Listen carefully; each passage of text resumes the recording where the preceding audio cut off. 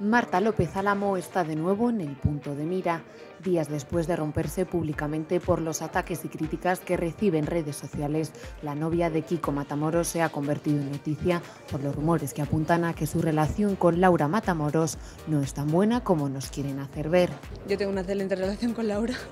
y punto, no, no fue por pues, motivos personales, yo la entendí perfectamente, de hecho así se lo dije en el mensaje, que entiendo que al acabar de tener hijos eh, va a lo estrictamente necesario, que sea por trabajo y yo de verdad que lo entendí perfectamente, o sea, yo se la mandé la invitación porque obviamente es hija de Kiko, se le iba a mandar, pero yo